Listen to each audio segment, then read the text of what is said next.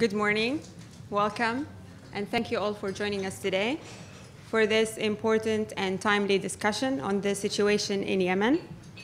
As many of you know, in the last few weeks we have seen some conflicting developments um, with, uh, on one hand, the United Arab Emirates announcing its withdrawal, while at the same time um, supporting the fighting um, on the other side of its main ally and the coalition. The United Nations also released a report concluding that uh, the United States, Britain, and France um, might be complicit in war crimes in Yemen, while at the same time there were news of potential talks, um, this time by the Trump administration. It is in this context of um, internal factions, um, multiple and interfering regional agendas, and as well as the international complicity that Yemen remains uh, the world's worst humanitarian crisis today. Uh, we at Arab Center Washington, D.C. sought to organize this panel today to discuss um, the implications of these recent developments and the prospects as well as the policy recommendations for um, a resolution to the conflict in Yemen. Uh, this is part of um, our work, our continued commitment to democracy, human rights, and diplomatic resolution to conflict. I would like to take the opportunity to uh, thank our panelists for being here today and for taking time out of their busy schedules uh, to join us. I would also like to thank um, our Director of Research, Imad Harb, to my right here, who agreed to chair this uh, discussion. But before I give the platform to, to our panelists, please allow me to um, uh, draw your attention to this flyer right here. Um, Arab Center Washington, D.C.'s um, fourth annual conference is taking place on October 31st this year, and it will focus on the topic of media and democracy in the Arab world, the future of freedoms and rights in the digital era. We hope that you would um, join us and you sign up to attend the conference. And with that, we will return to Yemen, and I'll turn it over to my colleague, Imad. Uh, thanks, Tamara. Uh, good morning, everybody. Um, thanks for being here. Um, uh, while, um, you know, as we know, uh, it's, it's, uh, it's really hard to pinpoint a specific date for the start of Yemen's wars, uh, for Yemen's war today. Um, the country has had several of them since its independence of the 1960s um, uh, as a result of uh, domestic disputes and uh, um, clashing interests, elite competition, and outside interference. Um, the current war uh, is, uh, in many respects, an outgrowth of uh, Yemen's version of the Arab Spring in 2011, when hundreds of thousands of youth and activists marched in the streets demanding change from authoritarian rule uh, it's not hard to say that their hopes actually were dashed. Um, when status quo forces subverted the calls for change with a watered down plan for uh, some sort of a transition um, from the uh, authoritarian rule of uh, Ali Abdullah, the late Ali Abdullah Saleh, to his vice president uh, Abdrabbu Mansour Hadi. Um, the the, basically the uh, Gulf Initiative of 2011 uh, basically laid down uh, the principles of a national dialogue conference between different Yemeni factions, uh, trying to really put some sort of a, a plan for the future of the country. Uh, that national dialogue, as we all know, uh, has actually collapsed, and uh, because of different competing interests and different competing demands, um, leading basically to the start of uh, internal war in Yemen. Uh, uh, March 2015 um, marked the actual uh, real intervention, uh, regional intervention into uh, Yemeni affairs led by Saudi Arabia and the UAE, uh, which formed a coalition for supposedly to restore the authority of uh, President Hadi to Sana'a, uh, to the central state, so to speak. since then, we're talking about, you know, almost, yeah, it is almost four and, exactly four and a half years uh, not, not, not, much has happened regarding returning, restoring legitimate authority to Sana'a, uh, but uh, some military uh, victories were achieved in the south uh, against the Houthis who were pushed out of the south and um, and along the coast, the Red Sea coast in, the, in the west. Um, but not really much has happened other than that on the battlefield, uh, except now we are dealing with a uh, South Yemen that is, uh, with, with forces in South Yemen that are trying uh, to uh, force a um, partition of the country into South and North. Uh, not necessarily along the lines of the old South Ye- Yemen, North Yemen division, but nonetheless, um, the creation of a southern Yemeni state that would uh, basically mean the partition of Yemen and uh, dismemberment of central authority. Um, uh, we are now looking at uh, really several realities in, uh, on, on the ground in, uh, in Yemen. Uh, we have a Houthi uh, insurgency entrenched in Sana'a and militarily strong uh, because it has been able to, uh, to fight off uh, a, a very, very heavy outside intervention. Uh, we have an, uh, an announced Emirati withdrawal, um, although they say it's partial uh, from uh, the south of the country, uh, while uh, at the same time that withdrawal forced the Saudi Arabia to try to send some forces to really make up the difference for in those strategic locations. Uh, third reality is uh, we have the Southern secessionist movement that is uh, imposing uh, itself as a de facto, de facto separatist force uh, on, in the South, uh, despite Saudi fear that this will really affect Saudi stability and security. A fourth reality is an outright Saudi Emirati clash. Uh, of interests uh, in Yemen and uh, what happens to the future Yemen. Uh, it just happens that uh, geographically speaking, the UAE is not directly uh, impacted by what happens in Yemen because it is geographically distant from, uh, from the country. But Saudi Arabia uh, is uh, right there, and anything that happens in Yemen is liable to uh, affect Saudi Arabia. Um, uh, the fifth uh, reality, and there are mo- many more, unfortunately, um, uh, it's, uh, there is a, a almost like a different kind of strategic look, regional strategic look at what happens in Yemen and who is interfering there and what they uh, feel like uh, they want to do both in Yemen and in the region. So we're, we're talking about uh, Saudi Arabia, the UAE, uh, uh, in the Arabian Gulf. We're talking about Iran's uh, Iran influence. Uh, we're talking about the UAE being uh, influential in the Horn of Africa, in Somalia and Djibouti and places like that. So these five different realities really make the Yemeni issue a rather complicated issue, uh, both internally and uh, regionally. Um, Today, uh, as uh, you know, you have their, uh, their bios in, uh, in your possession. We have an excellent panel to really talk about these realities and the different agendas that the different uh, uh, factions uh, uh, hold or the different uh, powers that are intervening uh, there. Uh, indeed, their task is uh, unfortunately not easy, uh, given all the complicated aspects of uh, the Yemen war and who's involved in it. Uh, but they will definitely, I'm sure, they will try to inform us as much uh, as possible about a very complicated domestic situation and regional environment. Um, they will be speaking in, uh, I mean, Nabil will be uh, uh, the the first to speak, and then Sama will follow him. Nabil will be talking about uh, the domestic internal conditions uh, in Yemen today. Uh, Sama will be talking about also some domestic issues plus the humanitarian situations in the country. And Kristian will be giving us some sort of a overview, so to speak, of uh, the regional situation, whether it's the Gulf or uh, maybe he can involve uh, Iran in it a little bit and uh, um, uh, have a, uh, like a bird's eye view over uh, what's happening over Yemen.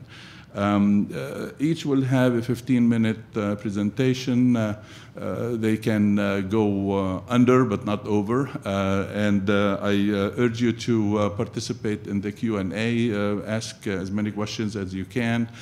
please use the cards on your chairs. Uh, to write the questions, please write legibly, and uh, a person from the staff will uh, be happy to pick it up, and uh, I will read it. We'll take as many questions as we can, given the time allotment. So uh, uh, thank you very much for being here, and Nabil, floor is yours. Thank you. so thank you very much, the Arab Center, for organizing this panel and for inviting me. Um, some of what, what, I will be saying, I think, will be redundant, but just to give you a brief uh, context of the situation in Yemen, um, how things developed to uh, uh, the situation right now, and where can we see Yemen in the next maybe a year or two. Uh, first of all, I think the catastrophic situation of uh, Yemen now goes back to the uh, events of the Arab Spring, or the so-called Arab Spring, which I think since then Yemenis have not seen any spring in reality. Um, the all I think many opposition parties, including including uh, the Houthis, um, which are now important, uh, Al-Islah, which is also another important party in Yemen, took part in uh, those protests against the regime of Saleh, which um, resulted in the um, uh, stepping down of uh, former President Saleh through elections which is also, I think, important. And this was done uh, according to the GCC initiative, which was brokered by mainly Saudi Arabia, but also by other GCC countries. And let me here just give you an idea about the main parties involved uh, since then uh, and who are now in the uh, political arena in Yemen. So I think the first uh, party will be the General People's Congress, which is the, the party of the former President Ali Abdullah Saleh. Uh, this uh, party was established in 1982. Um, it was the strongest party in Yemen, it ruled Yemen for about 33 years.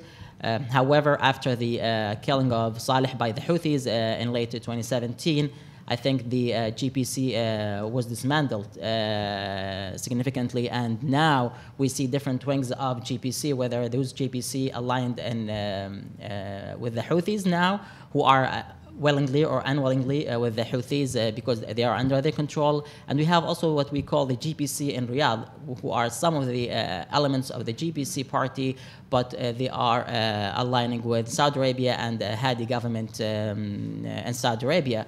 But also we have another wing which is uh, based in other places. Um, they're called the GPC of Cairo or the GPC of Oman. So these are um, veterans of the GPC. They were close to Ali Abdullah Saleh. Uh, but uh, they are against uh, the Houthis because they killed the main leader of the um, of the party, and also they are against the Saudi-led intervention in Yemen. And also, I, I, need to mention that Tariq Saleh, who is the nephew of uh, Ali Abdullah Saleh, is also fighting um, along with the kind of Hadi government. Uh, I think he's more allied with the UAE and, and, now. Um, maybe because one reason uh, is that his cousin Ahmed, the son of Ali Abdullah Saleh, and his brother Ammar are based in Dubai.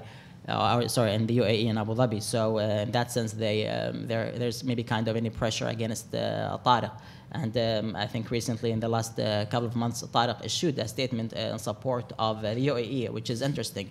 Um, uh, because I, as far as I know, Tariq actually is not, is not in support of the secession of the country, but uh, I think there's kind of some kind of pressure on them. So that is the GPC. Now, uh, it was the strongest party in Yemen. Uh, I think not anymore uh, because of the uh, situation right now. I think uh, the, the, the, GPC was centralized by the leader of the party, Ali Abdullah Saleh, after his killing. The GPC has no, I think, strong influence as we speak now in Yemen. The second important party is the Islah Party, which is the Muslim Brotherhood affiliate in Yemen. This party was established uh, uh, immediately after the unification in 1990.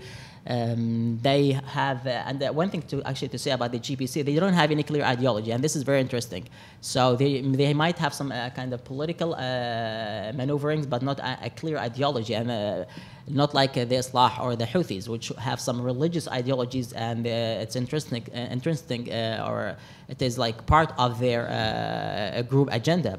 Uh, but for Islah, uh, the Muslim Brotherhood ideology, which is, I think, a transnational, uh, it's um, Arab ban movement, they uh, would like to have or establish this kind of um, leadership where they uh, observe uh, Islamic principles according to uh, uh, some sort of um, uh, Islamic rhetoric. Um, uh, I think, uh, but uh, it's important to say that uh, recently, after Saudi Arabia uh, classified the Muslim Brotherhood as a terrorist organization, uh, Islah Party tried to uh, uh, distinguish themselves uh, from the Muslim Brotherhood, and they are an independent Yemeni party that has nothing to do with the Muslim Brotherhood.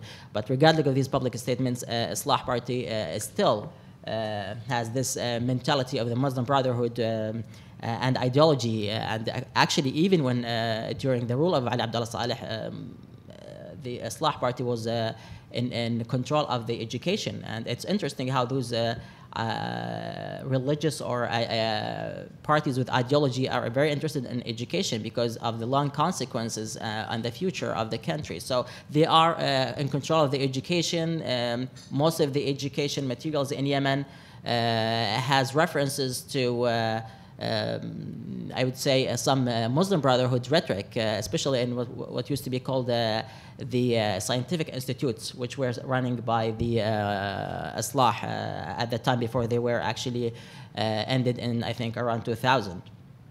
Now, and the Islah Party is kind of backing the Saudi intervention in Yemen. Um, they they claim that they do not have um, the majority in the current uh, Hadi government, but I think they have a big influence on the uh, decision uh, of the Yemeni government in Riyadh. Uh, Ali Muhsin, uh, who's the vice uh, president of Hadi, um, uh, has a long history with the uh, Islah Party, and also he was uh, actually classified by. Uh, some time ago by the uh, some American um, departments as uh, a person of security interest. The other party here is the Southern Transitional Council, and now which this is the most recent one, which um, was established in 2017 by Aidarus al-Zubaydi and uh, Hani bin Barik, and uh, they are, uh, I mean, clearly aligned with the UAE. They are um, just following the orders of the UAE. Uh, they have, of course, uh, some uh, and um, calls for independence, which has been actually these are legitimate. Um, calls for the southern people for a long time, but uh, the STC is different. They are just uh, pushing for the agenda of the UAE. If you go, for example, to Hani bin uh, Twitter account, you'll see MBZ's picture. Uh, it's interesting. Uh, they are, uh, I think, like people like Hani bin and other people are brainwashed by MBZ. And I think this is one of the strate- strategies of the MBZ. Uh, see Mohammed Dahlan, see uh, Hani bin uh, see other people. The MBZ is trying to have people close to him as much as possible and try to impress them with his personality. Uh, interestingly, uh, Hani bin Barik and Aidarus Zubaydi were seen in uh, Emirati Kandura, the Emirati traditional clothes.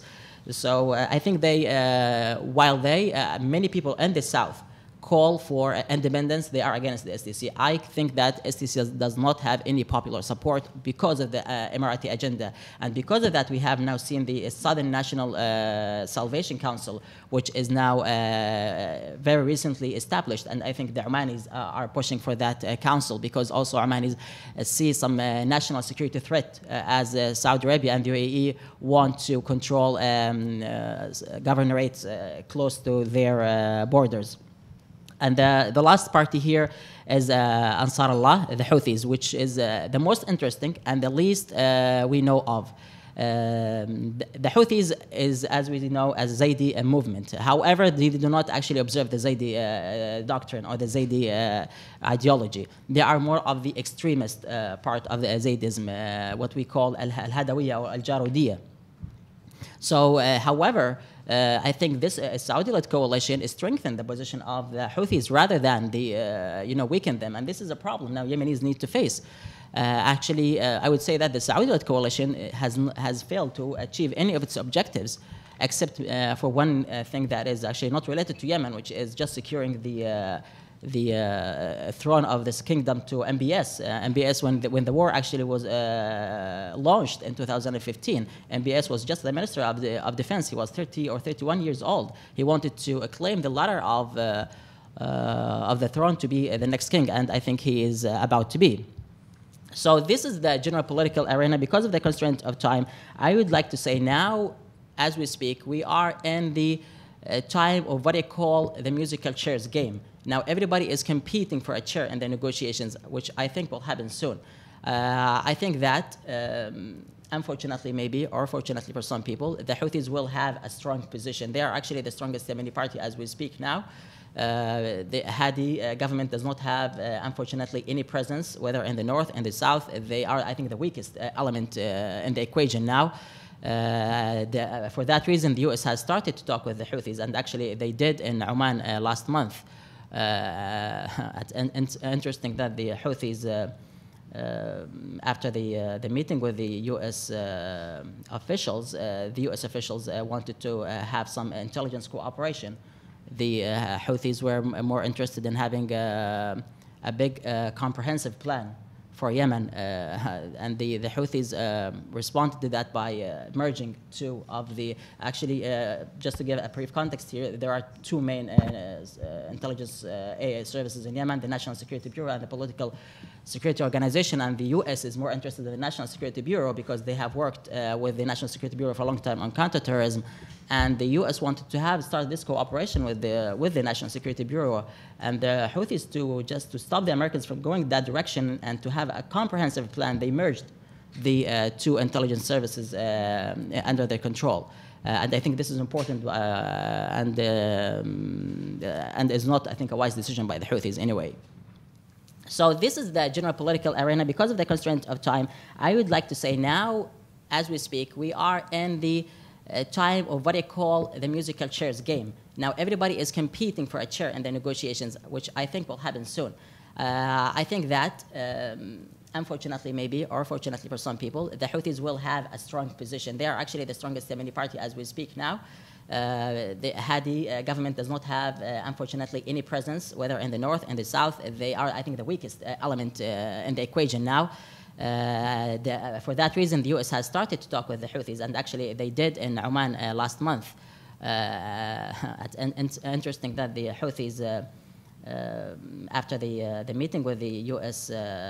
officials, the U.S. officials wanted to have some intelligence cooperation the uh, Houthis were more interested in having a, a big uh, comprehensive plan for Yemen, uh, and the, the Houthis uh, responded to that by uh, merging two of the, actually, uh, just to give a brief context here, there are two main intelligence services in Yemen, the National Security Bureau and the Political Security Organization, and the U.S. is more interested in the National Security Bureau because they have worked with the National Security Bureau for a long time on counterterrorism, and the U.S. wanted to have start this cooperation with the with the National Security Bureau and the Houthis to just to stop the Americans from going that direction and to have a comprehensive plan. They merged the uh, two intelligence services uh, under their control. Uh, and I think this is important uh, and, um, uh, and is not, I think, a wise decision by the Houthis anyway. So um, I think that the last point, um, I would say that many uh, friends and some colleagues ask me, so what's going to happen in Yemen? I think the war is coming to an end soon. Uh, I think by next year we'll have a resolution. Uh, the international community, the Saudis themselves, uh, I think, are convinced at this point there's no military sol uh, solution to this, and they they need to find a solution, a political solution uh, to the Yemen war. Um, I think by next year we'll have a new reality, um, but also it will depend on the shape of Yemen.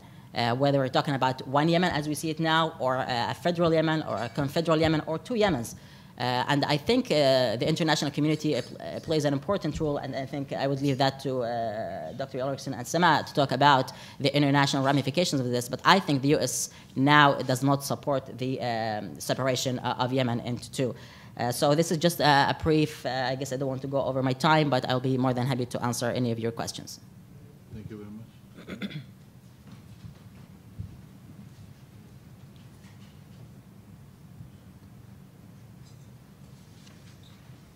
Um, thank you for being here. Good morning. Um, so I want to build on what was already said. So thank you for that uh, wonderful introduction that actually sets up perfectly what I'm about to say. I think the complex dynamics of what we see in Yemen today and the divides that we continue to witness are actually the most predictable outcome of the war based on how it was waged, based on the design that we have uh, witnessed in the past. Uh, so in the past few days, we've seen divides that some describe as a perceived divide between uh, Saudi Arabia and the UAE. But those of us who have been following it closely think that this divide has been there from 2016, where on the ground their interests were kind of shifting in different directions. So I just want to remind everyone that in 10 days, it's going to be the 21st of September, and that's going to actually mark the sixth year, the start of the sixth year since the Houthis took over the capital, Sana'a. And I think that is quite an alarming number because ultimately, if the goal of the war was to get rid of this group, we have now witnessed them ruling no the northern territories of Yemen for six years. Uh, the most important thing that we can talk about is how this war broke down the Yemeni national identity and fractured almost every single massive uh, group or local actor. And I think we can witness that in three main cities. We can see it in Sana'a, where the Houthis and uh, the Saleh, so the original or the primary alliances that the war began with, no longer exist. So in the north, the, the Houthi Saleh alliance is no longer there. They have eliminated their main partner, Saleh. In the south, what we saw as an alliance between the Southern Separatist Movement and then the Southern Transitional Council and the Yemeni government has, in fact, they have fractured at this point.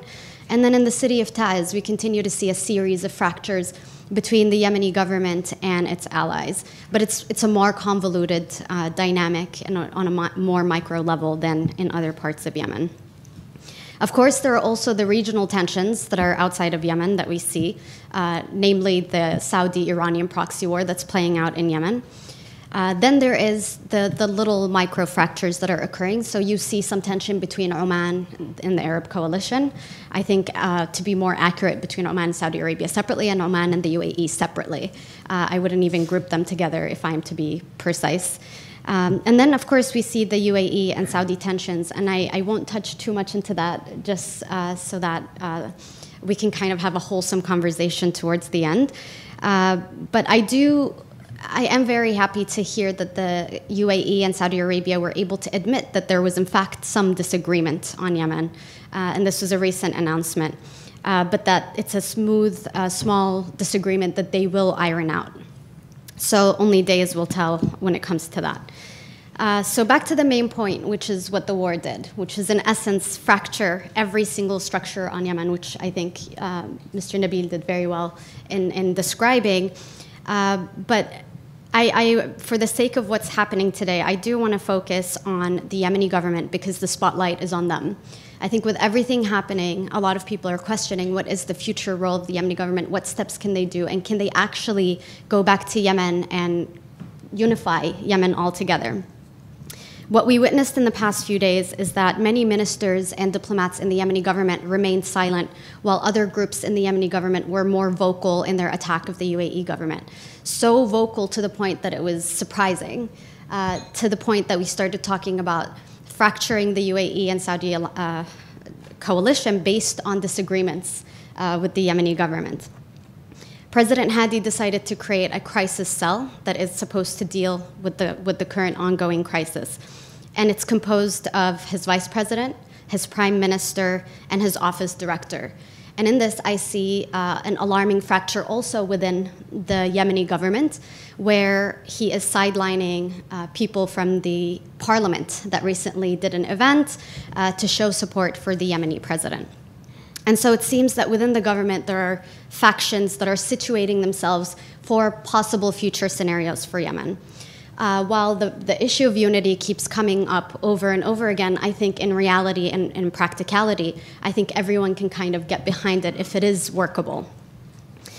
Um, I think when it comes to Hadi's government, that this issue of sidelining has created a lot of difficulties for the Yemeni government. And, and you can notice that specifically with the creation of the Southern Transitional Council. Uh, so two key leaders of the movement, Az-Zubaydi and Shalal Ali Shaya, they were key figures, key military figures in helping liberate the south of Yemen uh, and, and, enabling the Yemeni government to return to that part of, the, of, of Yemen. Uh, and so what happened is uh, we can look at it in two different ways. Either that the Yemeni government sidelined these particular figures who fought on the ground and really helped the Yemeni government return to the ground, or another perspective would say that the Yemeni government should not have hired hardline separatists in the Yemeni government allowing them to send a message to the separatists that secession is possible. And so it seems that uh, these moves taken and decided by the Yemeni government weren't calculated very well at the start. But what they have done, in effect, is uh, they sent a confusing message about the possibility of secession, that it might be welcome. And they also, uh, in a sense, if they were rewarding people for uh, fighting with them, kind of sidelined them and didn't give them an important position, say, uh, like other separatist figures that they appointed in government, like the Minister of Foreign Affairs and, and so on. But they, they appointed them on the local level as governors and security directors. So um, I'm going to continue talking about the Southern uh, Transitional Council, not to say that it's more important than other groups or coalitions in Yemen, but again, because of how they are very prominent in the news today. So we see that it's a grassroots movement. Um, it has a lot of flaws. I think the, the, the main flaws that could undermine this movement is that their rhetoric is not very inclusive of all social structures that exist in Aden. So there's very strong uh, kind of discriminatory narratives to some people that may live in the South that would not eventually belong in the South. Uh, the STC still did not consolidate all Hirak or separatist movement in Yemen because the Hirak movement in Yemen is an, is an umbrella secessionist group that they haven't managed to unify. Uh, they also are a little bit defensive in receiving constructive criticism, which means ultimately that they may not have the answers to all the steps moving forward if secession is a viability. They also lack the financial resources to rebuild government institutions in the south of Yemen. And on that note of government institutions, we have to note that all original government institutions remain in the hands of the Houthi group in the north. And I think that is something that we see in all Yemeni political parties, not just with the Southern Transitional Council, is that none of them have a vision to the future or actual realistic plans to resolve any of the issues in Yemen. How are they going to make Yemen remain one country? How are they going to solve the main disasters of what's happening in Yemen? Um, and I think it all revolves around the economy. And so, on the subject of Yemen's disasters, I want to touch briefly on the humanitarian crisis in Yemen. The humanitarian crisis in Yemen is the worst in the world since 2015 and worsening as of 2019. Uh, we actually estimate that 140,000 more deaths are going to occur, and that 233,000 deaths have occurred indirectly and directly by the war. Um, so, to highlight the humanitarian crisis, I will talk about starvation which is one of the things that are, that are really dominating in Yemen that are rarely talked about by Yemeni politicians or any of the regional actors. So, what we see in Yemen is that 15.9 million people of Yemen face severe food insecurity. A lot of them are going to starve to death if humanitarian aid is cut off. 20 million people in Yemen, that's out of 30, that's more than half the population, is in need of food. They have insufficient food. 17.8 million lack clean water and sanitation. In a recent paper that I did with Dr. Alex de Waal and uh, with the Global Rights Compliance, uh, we looked at drivers of famine in Yemen. What is causing famine in Yemen? And what we discovered is that one is Yemen already has a bad economy. There was already indicators of famine in the future, and these economic disasters that Yemen witnessed were always impacted by political disasters. So the more Yemen um, engaged in political conflict, the more these economic um, economic indicators went down. And so there was that pattern already in place. Second, the country's economic crisis was worsened by the war. Typically, what you would see elsewhere infl- inflation is up, uh, depletion of currency is there, but then, thirdly, and I think this was the most interesting part of my research, is that we discovered that there were policies implemented during the war, economic policies, that helped exacerbate uh, the situation and make food even more expensive. So, in Yemen's case, what's really fascinating is that food is available, however, people lack the, the money to buy it. And food prices have shot up more than 150 percent.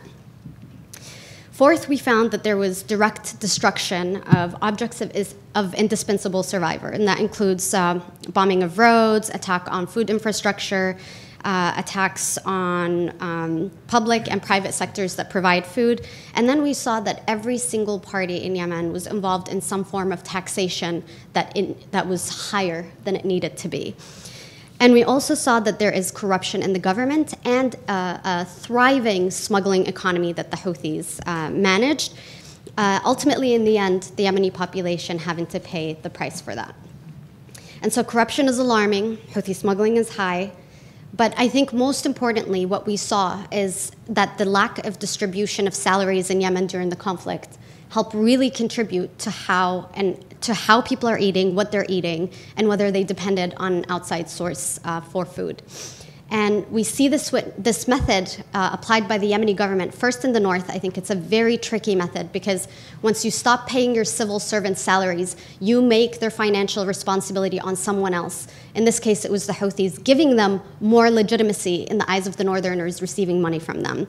In the past month, we saw that this method was applied on Southerners, where the salaries of high-ranking military and security officers, they stopped receiving these salaries. And so now we have a pattern that establishes that, in fact, this is a, a method that the Yemeni government um, uses in Yemen uh, as a way for political pressure.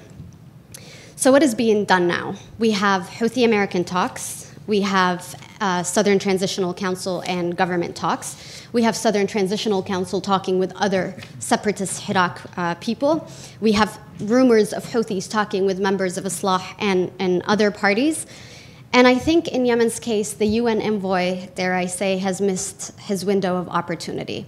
I think his window of opportunity came when the Hodeidah events were taking place, and that's when he really should have stepped in. And so, in that case, we see, well, I would call him what Yemenis would say uh, a burnt card which means that it's time to play a new card and kind of figure a new way to move forward. What's happening in Yemen now is ideal for a holistic approach, for holistic dialogue that involves every branch in, in Yemen to bring everyone back to the table to engage in talks that we witnessed in, in Kuwait or trying to achieve in, in, at the very start of the war. And I think that this is a perfect exit opportunity for Saudi Arabia and the UAE to come out of this conflict where it seems messy, it's tarnished, it's tarnished their name in the media, it's, it's not headed where they want to head. This is a perfect opportunity to step out, but I want to put emphasis on the fact that if peace is going to come, and I've said this before from the very start of the war till today, that peace, if it's going to happen in Yemen, has to be championed by specifically the Kingdom of Saudi Arabia. And with that, I conclude my remarks. Thank you very much. Kristian, yours. Well, thank you very much, and thank you for the two previous speakers. Um, like you, I think I was uh, surprised by the launching of the blockade of Qatar in 2017 by Saudi Arabia, UAE, and other countries, partly because I had assumed, I had thought that the next split within the Gulf states or among the Gulf states would be between Saudi Arabia and the UAE, and it would be over Yemen. And I thought that because they had, from the beginning, very different political objectives and also threat perceptions in going into Yemen and in beginning the military intervention in 2015. For the Saudis, there was, of course, for them at least, a, a border security issue, particularly once uh, the Houthis and other groups began to uh, fire projectiles into Saudi territory. Of course, as uh, Imad pointed out at the very beginning, the UAE is isolated geographically from Yemen, has not a similar border security issue, but instead has a set of political and geopolitical objectives that do, as we've seen, extend across the wider geopolitical region of the Horn of Africa and the southern flank of the Arabian Peninsula. And we all recall a tweet by Mohammed bin Zayed pretty early on in the war that seemed to indicate that for the UAE at least, they felt that it had been mission accomplished militarily once UAE and UAE backed forces had ejected uh, AQAP fighters from Aden and from Mukalla. And in their view, this was uh, uh, perhaps a time to uh, move away from the specific military objectives of the war and start securing geopolitical objectives for the UAE. And uh, that tweet, I think, was quite swiftly deleted as it became clear that uh, the, the, the, military phase of the campaign would continue, albeit in two very distinctive and different styles, with the Saudis and the Emiratis really focusing on their own areas of responsibility in Yemen and not necessarily coordinating very closely among the two. And uh, there is evidence that whereas Mohammed bin Salman and Mohammed bin Zayed themselves have a close personal relationship and do coordinate, at least at the very top, uh, aspects of policy making, it's much further down the line of institutional and bureaucracy uh, making, decision making, that's where the coordination begins to fall apart. And we haven't seen very much coordination, on, especially on the ground. So I was surprised, I think, along with many others, in 2017 that a new fault line had opened up in the in the Gulf. And I suspect that the, the Saudi Emirati tension could be put off and contained or managed, if you will, uh, as long as it had done, or as long as it could be, partly because as long as the war continued and there was no real prospect of a political settlement, of, of having to think about the future political arrangements of a post conflict Yemen, they could effectively almost agree to disagree and to put off that day of reckoning when you would have to decide which groups, which political parties would be part of any eventual uh, post conflict uh, resolution. And as uh, I think the two speakers have, uh, have made it very clear, that moment is now fast approaching. And so I think it's, it's hardly a surprise that some of these tensions have now, have now come to the surface in the way they have. There have been uh, hints of this over the past two years, uh, hints of uh, clashes between different uh, Saudi and Emirati backed proxy groups in Yemen. But I think, especially now over the past six to eight weeks, the, the sort of the different political end game objectives have, have really become much more apparent and I think will shape the next phase of this, uh, of this conflict if and when it also begins to move towards a political uh, settlement. There were also suggestions that the Emiratis, for example, did not necessarily coordinate with or even consult with the Saudis before they began to redeploy their, their forces. And of course, the redeployment of troops has been uh, very carefully packaged here in Washington and stage managed to make it look like a, a troop withdrawal when it's just a, a really a, a, sort of a phase of moving from one phase of uh, engagement in Yemen to another. Uh, but of course, it's, I think it reflects the UAE government's uh, very canny uh, sense of Washington opinion, whereby the, uh, the, sort of the political heat, the political flack from Congress and from grassroots and advocacy organizations here in the US is now becoming so strong that it, it pays to be seen to be at least looking to try to withdraw your troops or to, to talk about peace in ways that uh, haven't been done in the past. UAE support for the Southern Transitional Movement, of course, does open up new, difficult uh, angles for the UAE to try to manage in terms of uh, public relations, especially since people now are beginning to uh, draw comparisons between UAE support for separatist movements in Libya and also in, in Somaliland, for example, in Somalia. And up until now, uh, one of the advantages for the UAE has been that the focus on the Yemen war criticism in Congress and other political and uh, grassroots outlets has been very much focused on the Saudis. But if now the UAE is beginning to be looked at as a group that is beginning to threaten the political uh, legitimacy of states in a wider region, then that, that could bring a whole set of issues for for, uh, for, for, for the UAE to begin to have to grapple with in the US and elsewhere. I think there is an increase in US government pressure, undeniably so, for a move towards a political resolution and also increased humanitarian uh, support and relief for Yemen. I think in this most transactional of administrations, with this most transactional of presidents, there's a degree of frustration building up in the White House that the White House has taken a lot of heat, a lot of flack in continuing to support the Saudis and the Emiratis, come what may, and has taken a lot of heat from Congress, from members of both parties as well, not from just one or the other party, but hasn't seemed to got very much in return. The war has continued, and uh, the, until now at least, negotiations for, some, for a settlement haven't uh, haven't made enormous progress. And I think one aspect that did cause quite a lot of frustration and continues to cause frustration in the White House is the, the lack of follow through on humanitarian relief pledges that were made at the UN pledging conference back in, in February. And it's uh, a matter of quite some frustration, I think, in the White House that of the $260 million or so that was pledged by the Saudis and the Emiratis, very little of that has actually been dispersed And there's a feeling that if they can't even make good on their pledges, then why should the, at least why should the White House continue to give them a, a sort of protective uh, kind of uh, uh envelope for, for, for taking the heat off Congress to try to, to bring the war to an end? So I think that was also one of the reasons why, well, one of the reasons that Khalid bin Salman, the brother of MBS, the deputy defense minister, and really the guy who's now been tasked by Mohammed bin Salman to, to sort of try to well, run the war on the Saudi side because, of course, Mohammed bin Salman, the initial hopes that, as Nabeel said, he would be seen as a sort of war leader have, have failed rather, rather dramatically. Khalid bin Salman, when he was in Washington two weeks ago, I think he was told in very clear terms that you have to move to a different uh, phase. You have to take seriously the political and the humanitarian support um, for, for a settlement, and you have to begin to follow through.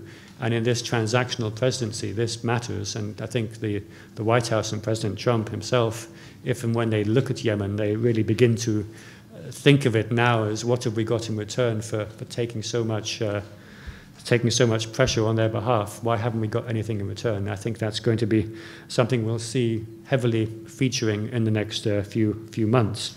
Uh, the cost of supporting politically against Congress, the uh, the sort of continuing coalition members uh, will begin to translate and to feed into demands for much more action on the ground. And so that could just increase, I think, the pressure for, for a settlement.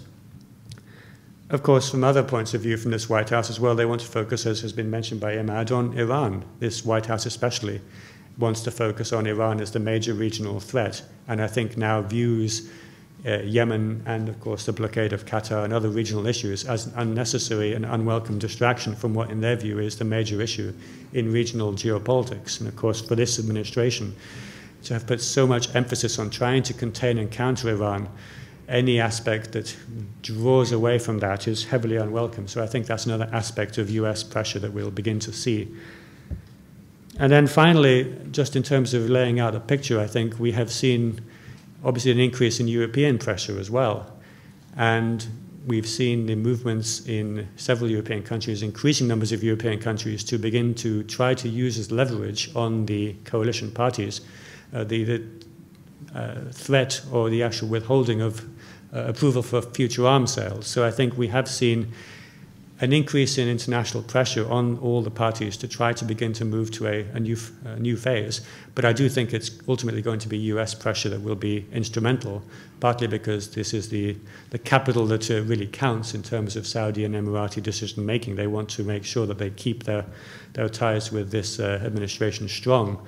And I think if the, uh, the cost of um, losing or at least eroding support with this administration is the is, is a byproduct of continuing to wage that campaign in Yemen that has been going on now for four and a half years, then that will be something that they'll have to begin to reassess and they'll have to begin to draw down their, their insistence on a military solution, which I think, as we've all agreed upon, is no longer, possibly never was, possible.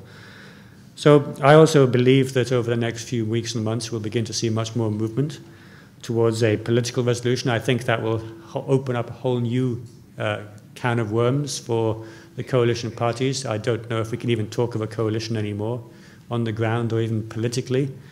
I think perhaps the, you know, the, so the, you know, this will be the harbinger of a new division within the Gulf, and of course that could also feed into those other issues in Gulf politics where you have had the UAE and Saudi Arabia, and of course when we speak about the UAE, we mean Abu Dhabi and Saudi Arabia really acting in lockstep. We've had that Mohammed bin Salman, Mohammed bin Zayed uh, kind of axis really reshaping Gulf politics over the past uh, four years. And I think this is the, the moment of truth, the moment where it will be tested. And we'll see whether the personal relationship can begin to, is, is resilient enough to survive the institutional uh, fissures and the, the, sort of the differing geopolitical objectives for how they see the future of the peninsula, the political groups that will inevitably have to make up some sort of resolution.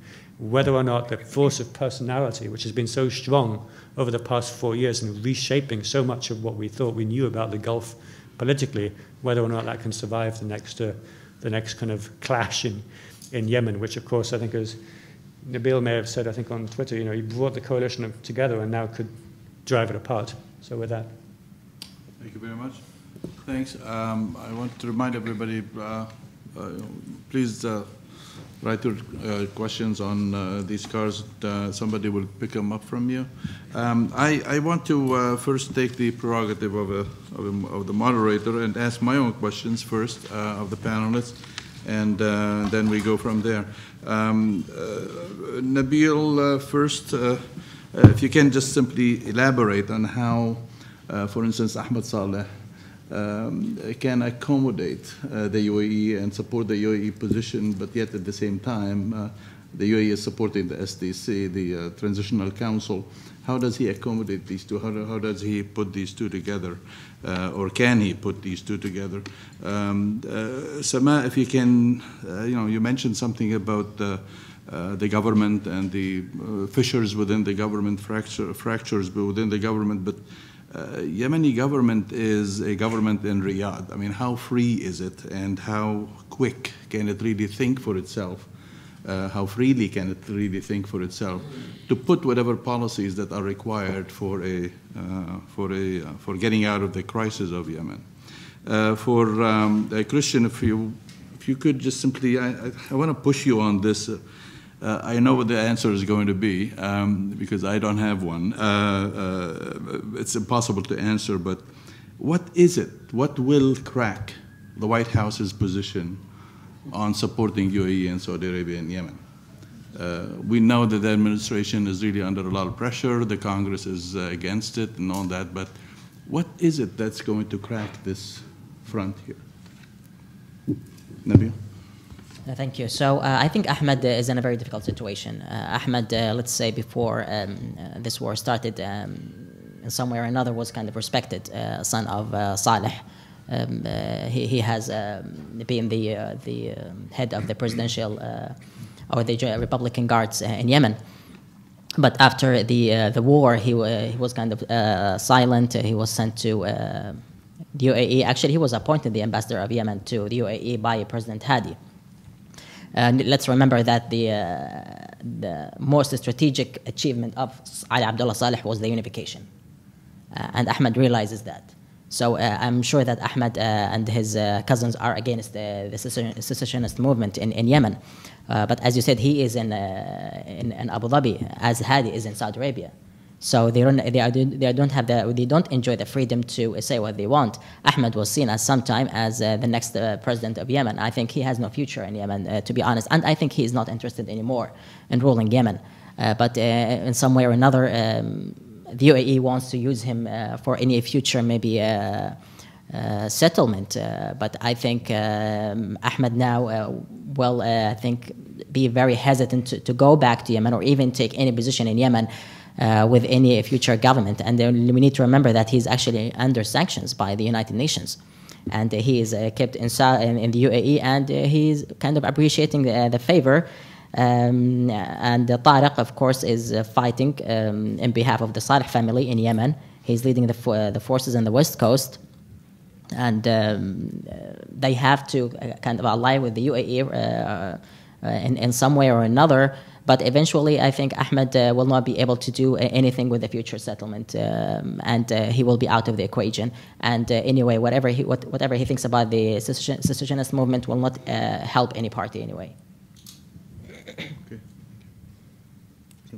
So on um, the Yemeni government, I think it's really important to note that since 2012, since actually 2012, 2013 onwards, uh, when the decision was made to have President Hadi as the leader of Yemen, uh, a lot of Yemenis understood that that was a transitional period and that President Hadi was not going to be that reformer leader of the country.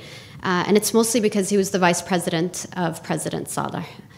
Um, he was also a, a, Southerner who couldn't represent the Southern separatist movement because he joined forces with Saleh. So he had a lot of uh, problems to begin with, just as a as a as an uh, as a leader. Uh, but then also his leadership style was the same before the war.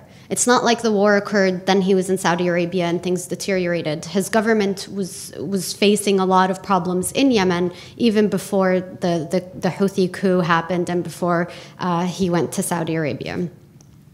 Um, and so, what we saw specifically after the war happened is that there was uh, a wave of really disappointing uh, appointments that the president made. Uh, that included uh, appointing some figures that at times uh, saw Yemen as a divided country. Uh, some of the policies were discriminatory. The citizens of Yemen were not viewed as equal based on geographic location. At times, they exacerbated sectarian narratives. Um, to, to their advantage, of course, to them remaining in power and to them remaining in Riyadh. And I think ultimately now, fast forward to 2019, the issue is no longer with uh, President Hadi as a president. I think whether he's president or not president has proven to be indifferent for the country. I think the issue comes down to who's underneath that president and who is going to carry out the tasks of, of uh, functioning in government. And I think that um, certainly the appointments have improved. Uh, the new people that we see in the Yemeni government are far better than the people that he first appointed right after the war. But it begs the question of is it too little, too late? Um, and I think with the Yemeni government losing ground, it looks and acts as weaker. Um, and so I think if the Southern Transitional Council, under the, the, the, talks in Saudi Arabia with the Yemeni government, if they are able to strike a deal in which the Yemeni government returns, then we can see hope in that, and where the Yemeni government is now is going to come back, and then we come back to the main suggestion that we put on the table at the very start of the war, which is the creation of presidential councils. So instead of one person leading Yemen, we would have a council of several figures that represent several regions of Yemen, several political parties. And I think effectively to keep uh, Yemen whole means that you have to provide the population alternatives from the militias that are ruling on the ground. If Yemen doesn't want a southern separatist movement or a Houthi movement or uh, whatever movement is born in Yemen that could threaten the unity of Yemen, the Yemeni government has to provide the Yemeni population's alternative and has to provide them uh, with an ability to have a dignified life. So if the Yemeni government is able to do that, then we can definitely, I think the entire population of Yemen would put its weight behind it. Because ultimately, the Yemeni people don't really want to be led by ideological groups. Um, so they have that opportunity. Thank you. Just like a very short comment on this. Um, actually, um, as uh, Sama said, it, uh, the, uh, the current uh, Hadi Yemeni government is um, uh, transitional. And um, I think it's important to understand that any peace deal will result in the end of Hadi of course, and his government. Uh, so um, if we want to be realistic, the Hadi government will not be will not have any role in the future of Yemen. Actually, they don't have. I, I, for me, I don't think that they have any uh, role in the current uh, Yemen. They are. Uh, they have no no popular support. Unfortunate. Unfortunately, the uh, as Sama said, we have militias in the north and in the south. And I'm just trying to be realistic here, as we see the uh, situation in the country. The the Hadi government lacks any any uh, any efficient you know uh, stance in Yemen, and uh, which actually makes it the weakest uh, in the current time. And I think that if we want to think about Yemen in the uh, in the near future, Hadi government will not be there, and uh, this is a problem. Now, what is the new government? Whereas the shape of the new government is um, difficult to see at this point. And I agree with you. As those who will be under Hadi will have maybe a share in the uh, in the government. And I think the, um, the, the those who are actually oppose uh, the Houthis um, should now blame the Saudi Arabia for actually strengthening the position of the Houthis in the north. And I think, uh, as I see from a realist, just a realistic uh, view, the Houthis unfortunately will be part of any government in the future, and Hadi will not be there but maybe some of his people under him. And uh, it also depends on how the international community will handle this kind of settlement, where the Houthis will be there, where the Southerners cannot, will not accept the, any uh, Houthi-run Yemen, of course. Uh, the, the, uh, the, people in the north, I think, now have a little of option to uh, go against or you know, oppose the, the Houthis. Thank you. Uh, will crack the White House position. You know, it's sort of asking you to get in the mind of President Trump, which is not always easy. Uh, you think of the tweet about Syria, which uh, upended all sorts of uh, uh settled positions and led to resignations. And of course, we could see something about anything at any time. And uh, flippant answer would be Fox News. He could see a report about Yemen war on Fox News and change his mind. But the the non-flippant answer is that I think right now the White House is trying to leverage the Saudis and the Emiratis to say you you need to follow through on your pledges because we've had your back and we need something in return. I think if and when that policy of trying to get something in return is seen to have not produced or sufficiently produced that return, then that will change. At what point that will be, I don't think anyone other than the president probably knows. Okay, well, thank you. Um, I have a, quite a group of uh, questions here. Um, first, from uh, Mohammed Shinawi from uh, VOA. This for the, for for everyone. Um, uh, what are the major requirements needed to end the war in Yemen, and who would be the major domestic, regional, international players involved? So, uh, if you can answer in about a minute only. Just kidding. Uh, Nabeel, you can start. Okay, so I, I think um, the main uh, key to the uh, end of the war is uh, coming uh, to the table. And I think this is uh, happening soon, uh, even if many uh, of the uh, uh, parties involved in the war are not in a good position. But the international community is uh, pressure to end the war is, I think, significant. And everybody knows that everyone is a loser in this war. There are no winners in this war. Uh, and I think uh, that uh, the this is the reality of international relations, or this is the, the reality of, of uh, how uh, politics and military works. If you have a foot in the ground, then you have a chair and the table. Uh, and let's, uh, as I said, if we look at the um, political and um geography of Yemen, uh, we have now uh, the STC and Hadi government in the south. We have uh, Ma'rib uh, governorate, which is actually run by, uh, uh, which is kind of a semi-state within uh, Yemen, which is actually maybe the best uh, option um, or the best, has the best situation in Yemen, which is I think supported by now by some international community, but also has some Muslim Brotherhood affiliation. As Sultan Al-Arada, I would say, is closer to the Islah party. And also we have the Houthis in the north, and I think these are the important parties will be in the in the table uh, uh, when we talk about the Yemen. Uh, however, we need to uh, look into the regional ramifications of this. Uh, as uh, I think uh, Sama and uh, Dr. Ulrichsen said, uh, Saudi Arabia is uh, on the borders of Yemen, so they uh, have a decisive role on uh, the future of Yemen. And uh, if Saudi Arabia decides to stop the war and encourage political uh, solution, we will uh, uh, have this war come to an end. Uh, and I think this is now the conviction about uh, from anyone uh, in the war, and as especially after the withdrawal of the UAE, Saudi Arabia knows for sure that there is no way you can end this war uh, or can win it uh, against the Houthis. Uh, they did not reinstate the, the government or the legitimate government, as they say. However, they're tearing up the country. Now they're creating more problems than solving problems in Yemen. Uh, so what we need is international community pressure to end the war, uh, regional uh, also support, uh, and especially from Saudi Arabia, uh, to end the war and encourage political settlement. We will have uh, now a new, I mean, I, I, my ideal um, scenario if we can have a, a one year of a transitional government and we have a problem with the transitional governments. Everyone wants to stay for a long time. I, the shorter is a, tran- a transitional period the better and then we have general elections. Let's re- remember that yemen is a democracy. I mean i'm not saying that we have free elections but we have elections. We uh, president is elected the parliament is elected uh, so um, the problem, though, when we have elections, those who are in power will be maybe manipulating the results of the elections. But at least we have elections. So uh, let's uh, have these uh, parties resolve their differences for now, and let's uh, hold elections. And whoever wins will govern Yemen for four years, six years, and then we have another cycle of elections.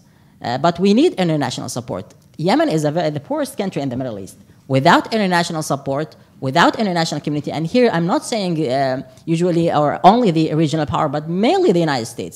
The United States has, if uh, real, it w- really wants to end the war, they have to pressure all the parties, and I think they are able to pressure all the parties, including regional powers and also domestic players. Thank you. I mean, I, I would reiterate a lot of that. Um, but I think ultimately what needs to happen is that for every side of the conflict needs to genuinely come with a will to end the war, and that's what we haven't seen. We've seen people going to negotiation tables but not actually wanting peace or actually believing that it's time to exit. Uh, so this perhaps could be it, perhaps not. Uh, however, we do know that from this point on, Yemen is going to be a series of crisis management. Um, it's going to be uh, difficult to have Yemen be what it was before. This war has, in essence, undone uh, the past 20 years of development that Yemen may have witnessed. And I do want to second the idea that Yemeni people should have the right to elect and go to the voting poll. Uh, merely for the dignity of the Yemeni people who have been told who's going to lead them and what's going to happen by not only uh, invading powers on the ground, but by also regional powers that totally dismiss the will of the average individual in Yemen. Uh, and so I think that's the most important thing. Thank you. Kush? Oh, just, I mean, I would just add that, I mean, there's no, I mean, to end the war, I mean, we have multiple wars going on at the same time. You have multiple battlefronts, and so there will not be a one size fits all ceasefire or any sort of model towards moving from one phase to another. And so whatever moves are made will have to be flexible enough to accommodate all the different actors and parties and again, all the different sets of negotiations that may have to take place. Thank you. Um, the, this question is for Sama. I'm, I'm, I'm personally um, uh, interested in this question uh, uh, from Hanin uh, Khirfan from Inside Arabia. In 2006, Yemen uh, was ranked last in the World Economic Forum Gender Gap Index. And in 17, the country was listed the worst place in the world to be a woman. Women have been hit the hardest by this conflict. Where do you see Yemeni women after war and reconstruction? Do you think that women's situation will be better than it was before due to changes in Yemeni society, or worse, will uh, or women will have to uh, short uh, to start from scratch? So. Um Thank you for that question. I do think that women tend to suffer the most in, in Yemen and especially in the conflict. But I can't say that based on the statistics that we've been seeing that the men are doing that much better. Mm. Um, and so in Yemen's case, we see that children tend to pay the most price. We see the same problems of um, children fatalities, um, children being underweight. Uh, all of these problems can be resolved by better access to healthcare um, and better access to funds one of the things that this war has created is um, a blockade of some sort to the northern portions of Yemen, although the south of Yemen also suffers from very similar uh, issues, which is they don't have an ability to access medicine or healthcare. Um, and these things are easily fixed if there's a plan in place to make medicine available and to make it affordable and to uh, guarantee that these people have access to healthcare. When it comes to education, I think that's where we're going to struggle the most. Uh, I think Yemeni women tend to drop out of schools, not finish their education, and are usually married very young. But I think those are also tied to economic opportunities. I think if the Yemeni people have an opportunity to live and have access to income, then uh, Yemeni families, which are typically very large in size, averaging at seven uh, children per family, wouldn't have to marry their children very young because they can't feed them. And so it seems like everything in Yemen is linked to how poor the country is. Um, and I think that once you start fixing the underlying causes of that, then we can hope that Yemeni women uh, can have a better life. Politically speaking, uh, we see a Yemeni government with very little female representation in there. There are a few women in there, however. And I think that at the negotiation tables, we haven't seen uh, a lot of women organically selected there, but we saw a UN process that's trying to push and include women in the in the negotiation process. To be honest, just because the war is led by a lot of men on the ground, it wouldn't be such a bad idea to have the men agree that we need peace in Yemen and then involve women in the peace building process moving forward. Thank you. Um, this question is from uh, Muhammad Awais. Um, uh, does the tribe still have power in Yemen, especially uh, Hashid and uh, Bakil? Um, this is for, uh, for Nabeel and uh, Sama. Uh, thank you for the question. Um, tribes are, um, have a, a, strong role in Yemen for a long time, and Yemen is a tribal society. and actually, it's the origin of Arabs, so all, almost all the tribes around the Arab world are originating from Yemen. Uh, and let's say that uh, the uh, period of Saleh, um, who was the most controversial, I think, figure in Yemen, whether we agree with him or not agree with him, he was not that very oppressive. And this is important to understand uh, the role of tribes before uh, the war and now. Saleh gave some air and uh, some also uh, influence for tribes in Yemen, and that's why his actually strategy in Yemen is to playing on different uh, factors uh, in controlling Yemen. So uh, under Saleh, tribes had, have had actually a, a very important role in the in the country, and they still do. However, after the war, and especially I think killing Saleh is very important here because Saleh is seen as the most uh, or the strongest person in Yemen. Killing Saleh in that way by the Houthis, and without tribes going back for him, who was actually from Sana'a, and he was killed in Sana'a, this actually uh, weakened the role of tribes in Yemen. The, the tribes in Yemen used to be a, a challenger to the state uh, sometimes. Now I think the, especially in the north here, I think that tribes are kind of scared from the oppressive and, uh, and the iron fist of the Houthis in the north. They are crushing, the Houthis are crushing everyone who are not with them. And if the Houthis were able to kill the strongest man in Yemen, I think, and also humiliating people like Sadiq al-Ahmar, who was very important and very influential in Yemen, and you know, bombing uh, their houses in the north, Sadiq al-Ahmar, Hamid al-Ahmar, and uh, many others from Al-Ahmar family, then uh, the tribes now, I think, uh, are not as strong as they were. I think that I see the tribes' role is weakening. Now, actually, personally, I'm actually with less role of the tribes because actually this is a challenge to the state. However, the way it's working now is the Houthis having a very oppressive uh, strike against the, the, the, tribes where whether you ally with us or we will, you know, uh, end this tribe. And this is what's happening, especially in the, in the north of the country. In the south, we still have some tribes. Uh, but I think also their role is uh, dependent on the uh, regional and international support because of the, uh, of course, uh, by the end of the day, the Yemeni tribes can fight the Yemeni government, but it's difficult for Yemeni tribes to find to fight regional powers with airstrikes, with state capabilities. So they need to be adopted under regional power, like whether to be with Saudi Arabia or with the UAE or with Oman. But I think, generally speaking, I, we see the Yemeni tribes weakening, uh, but still they have uh, some role. Um, actually, also the, as the tribes have you know some negative uh, influence in the country, they have some positive. Uh, um, influence in resolving some uh, issues, mediating between different tribes. Uh, but um, anyway, the, the rule is weakening from what I see it. I don't know if someone has a different point of view here. Um, for the Yemeni tribes, I think that there was a point where they were weakened, but I think that they have made a comeback as something else, not as the traditional tribe structure that we've seen in the past. Uh, I, I, think it's important to emphasize that a lot of Yemen, not just the north, is, is tribal, and I think that even in the south, we see this return to tribalism uh, that could either be beneficial for social cohesion or could be signaling a future, uh, his, you know, uh, conflicts in the south based on historical uh, conflicts that existed between sultanates or emirates there. Uh, in the north of Yemen, I think that the Houthis leveraged political, the, the tribal structure very well to their advantage. I think the Saleh death is actually a perfect example of how they can talk and negotiate with tribes as not to have them come back for vendetta.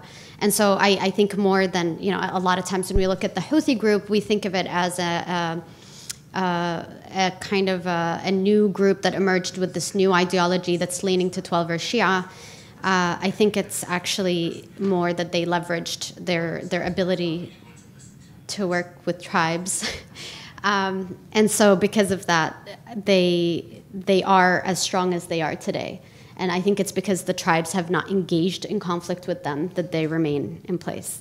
Uh, but I also want to say that the tribes of Yemen have been paid by outside uh, forces because of how powerful they are. And so we know that, for example, um, uh, the UK started by paying off tribes in, in the south of Yemen to weaken them and to have influence on them. And then Saudi Arabia later on adopted the same system with tribes in the north, where they continue to receive monthly salaries. Um, and so the power of the tribes cannot be underestimated. Uh, thank you. This, uh, this um, uh, a couple of questions to for um, uh, for Kristian. Uh, this is from Ahmed Al Futihi, I believe, uh, from the Yemen embassy. knowing that Iran and Hezbollah are supporting Houthis with military training, with military for, forces and training, etc., how would the, Yemen's future be if Iran stopped supporting the Houthis? The second question is, if I may combine it with it um, uh, from William Embry from DAI Inc. What's the future for the Saudi UAE coalition? All the easy questions. Yeah. okay, thank you. In 30 seconds, please. Thank you. Uh, I mean, Iran has been supporting elements of the Houthis, and that has been to some extent a another, and well, I, I guess wholly anticipated a consequence of the decision to go into Yemen in the first place in 2015 with the military intervention. It's kind of created that consequence it was designed to forestall uh, in much greater ways.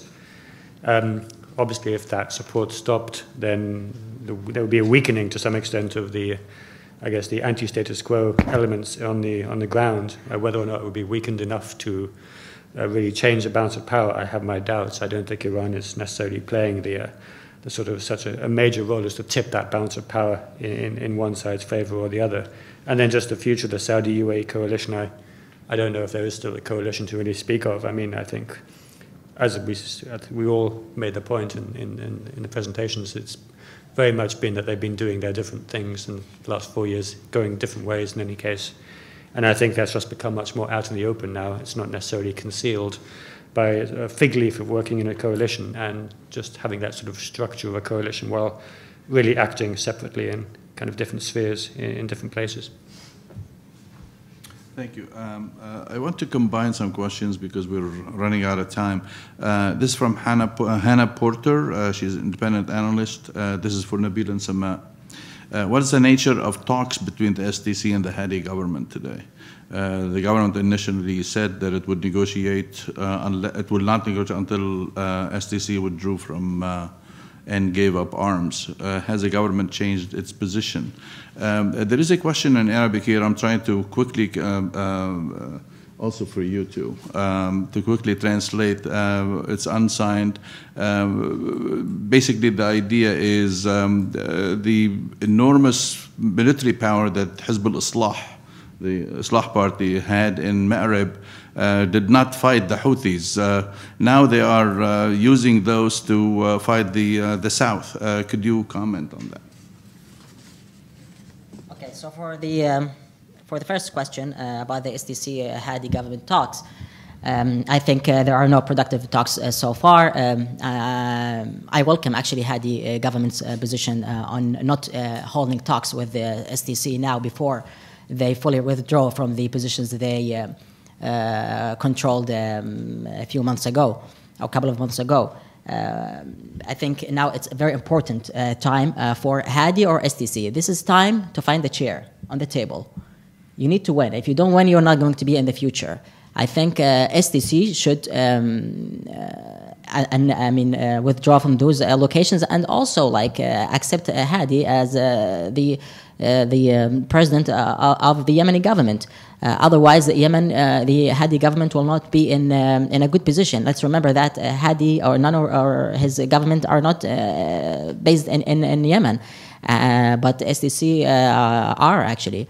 Uh, so uh, they need now to have the pressure on uh, on the STC, and they should benefit from the Saudi stance against STC, as um, you know, as I think uh, uh, Dr. Ulrichsen explained, the difference between Saudi Arabia and UAE about the rule of the STC in Yemen, uh, and should uh, I think uh, keep this position until they uh, pressure the STC to go to the talks and be part of. A deal where they recognize Hadi as the president, because in this case, any STC uh, representation in the future uh, uh, uh, negotiations, which I, am like I'm positive is going to be next year, uh, you will have a, a, say. Now, if Hadi government sells out this uh, time and they don't benefit from having a strong position on the STC, they will really have a very weak uh, uh role of any uh, negotiations in the near future. Um, I just uh, want to point out that in 2013 and 14, when the Yemen National Dialogue was taking place, the Houthi militia was brought into the national dialogue as the representative of the Saada cause, which I think is a mistake because they gave them such a powerful seat, uh, which actually helped lead to where we are today. I think in dealing with the Southern Transitional Council, it's important to not make them the sole spokespeople for the separatist cause because there are also other vehicles there that, that carry the same grievance but don't necessarily agree to their vision. Um, and so I think how the government chooses to deal with the STC, whether they're the sole vehicle carrying the secessionist uh, cause or whether to also include other factions in that, would be detrimental to the future of Yemen on the position of the government, whether it changed or not, um, I really think that you should ask the Yemeni government what their official position is. Uh, as for what's happening in, in, in, about Islah and in Ma'rib in the south, I think in the south we see uh, a lot of presence to some Salafi forces, and we also see presence of uh, Islah in the Yemeni government. And so naturally, they would have a say and interest in what's happening in the south of Yemen. But Islah, as we know it, has also fractured, just like GPC and other factions, where we see. Um, the three components that composed Islah, which were the tribes, the Muslim Brotherhood, and the Salafis, have fractured and have been fracturing since 2011 when the Salafis decided to break off and create their own political parties. And now, with the Muslim Brotherhood of Yemen kind of having this unique fracture that we haven't seen elsewhere, where we have uh, a side that broke off and uh, changed their position on the war when Qatar uh, was kind of pushed aside. And we see some other factions of the Muslim Brotherhood that don't have an issue with that and would continue to be part of the, um, the Arab coalition. So I don't find it surprising at all that uh, some, some elements uh, from Ma'rib went to engage in the fight in the south.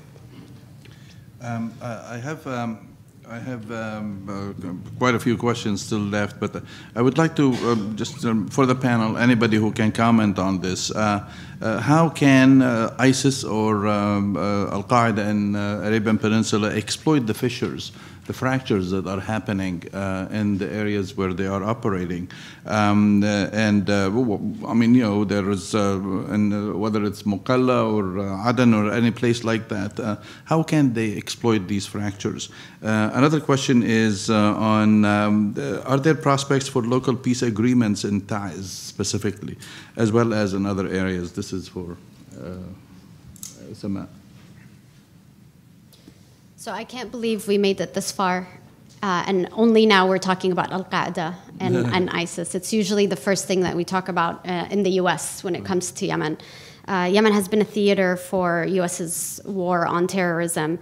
And there's no doubt that in this war, um, Al Qaeda and ISIS may not be mentioned as much, but they are still operating there. And I don't think that the US had uh, shifted its perspective on Yemen when it comes to that. Um, and also, the Arab coalition has made uh, a very strong statement at the very start of the war that they will fight uh, what they consider terrorism in Yemen. Um, and so, when it comes to that, we can say that they are still there. There's that potential risk of them popping. They're just operating under uh, the radar for the moment.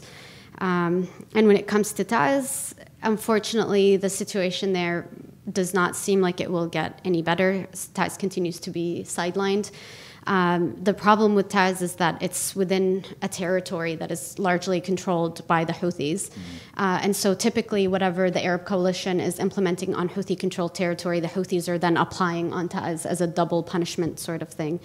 Um, and so I think it's going to take a while to solve the Taiz issue and would definitely need its own acknowledgement, which then highlights how fractured Yemen has become and how many um, councils or, or um, reconciliation efforts we're going to have to, to achieve throughout the country. Um, I'm sorry, we time is up, but uh, I'm going to give you uh, each a minute to wrap up on on your uh, particular uh, you know, uh, participation contribution. Kristian, you can start. Okay. Well, just following on the previous question, I mean, from a US government point of view, there's also additional concern, as Sama said, about US objectives, which are, of course, heavily influenced by counter-terrorist uh, policy over the last 15, 20 years. And there was heavy US pressure on the UAE, for example, in 2016 17 to really do much more to focus on on the threat from AQAP and from ISIS in southern in southern Yemen. There was a feeling that the there was you know, potential that this could create alarming gaps where the, these groups could begin to once again take root. And uh, if you remember, one of the very first acts of the Trump administration, within days of it coming to office, was to undertake a joint raid with the UAE in southern Yemen, which uh, um, well, led to the death of one U.S. Special Forces uh, soldier. I mean, I think it was no coincidence that that was literally one of the, very first things the Trump administration did. So I think, from a U.S. perspective, that's also very much on their minds. So I, I will just add, as an analyst, that the um, even after the end of the war, uh, I think Yemen has a, a, very long way to go, and uh, I will echo what uh, Sama said that we will have a time of crisis management for a long time, especially after you know we uh, have more polarized political and uh, popular components in Yemen. So uh, we will need like a long time to have Yemen even go back to what was it um, before this war. Uh, but um, as a Yemeni, I would say that um, I hope the Yemeni people uh, and uh, elites will be able to resolve their tensions uh, by themselves uh, and embody this claimed wisdom. I think Yemenis have the potential to resolve any differences without international intervention. And I hope that, and I, I think as Yemenis, we should not, uh, I, we should refrain actually from uh, celebrating, uh, entertaining, or encouraging uh, killing of Yemenis by uh, foreign actors, regardless of those uh, Yemenis, whether are in the political orientation, whether they are in the north, whether they are in the south, or anywhere in the country. And we, and regardless of the foreign actor who is killing Yemenis, I think these have long consequences in Yemen, and the Yemenis should be aware about that. Thank you. Um, I'll just remind that we have this window of opportunity for Yemen today to actually shift the conversation and engage all the significant actors in the conversations that need to be had. Uh, and I think we need to keep our eyes on how these negotiations and talks will take place. Because if they're mismanaged, we can safely say that there could potentially be more years of conflict. Uh, and Yemen's war could end up playing out like Lebanon's civil war, 15 years plus uh, if those opportuni- opportunities continue to be missed. So that's it. Thank you very much. Thank you to the panelists for a very, very informative panel, and uh, thank you all for being here with us. And uh, please. Uh,